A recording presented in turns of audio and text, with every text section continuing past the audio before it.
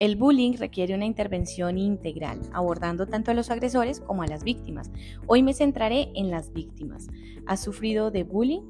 Te daré consejos para empoderarte y ayudarte a superar esta difícil situación.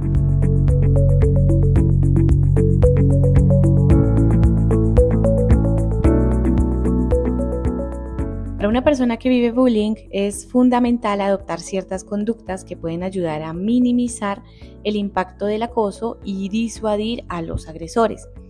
Estas conductas están orientadas a proyectar confianza y seguridad, lo que puede reducir la percepción de vulnerabilidad que los acosadores buscan explotar. Aquí te dejo algunas recomendaciones prácticas para que el agresor no te vea vulnerable. Primero, Mantén una postura corporal firme y segura, una postura erguida, la espalda recta, los hombros hacia atrás. Esto transmite confianza. Contacto visual.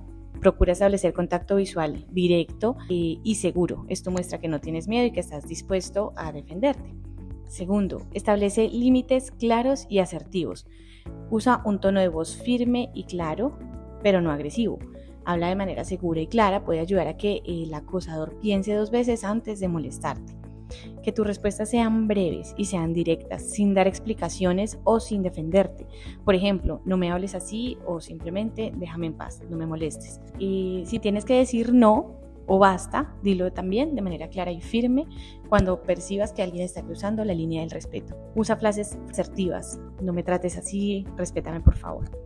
Tercero, es importante que practiques ejercicios de autocontrol, que aprendas a respirar profundo. No reacciones con emociones exacerbadas. Evita demostrar miedo, enojo o tristeza. Los acosadores buscan una reacción emocional para sentir poder sobre ti. Para eso te recomiendo que hagas simulaciones frente al espejo de qué harías y qué dirías si esta situación volviera a suceder. No reacciones agresivamente a las burlas. Si te lanzan insultos o provocaciones, trata de ignorarlos. Muestra que no te afecta. Esto puede disuadir al acosador. Evita gesticular demasiado porque puede mostrar nerviosismo. Mantener las manos visibles y relajadas también te puede ayudar a percibirte seguro y tranquilo.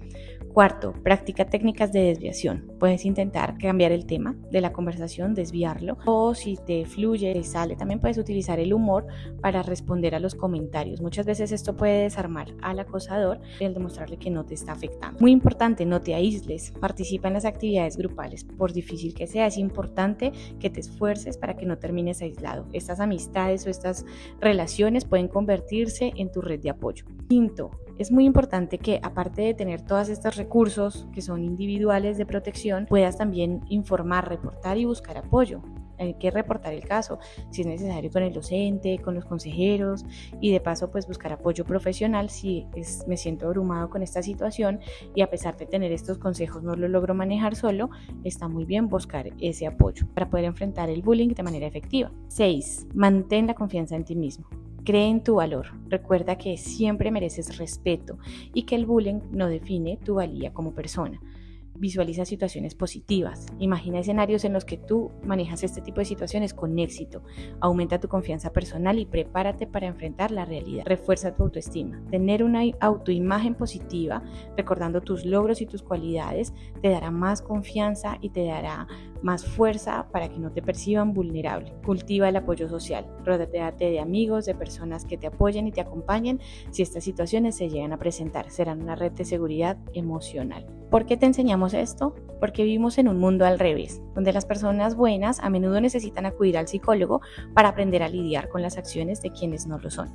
Para profundizar en esta realidad, te dejaremos algunas recomendaciones de películas y series relacionadas con este tema en los comentarios.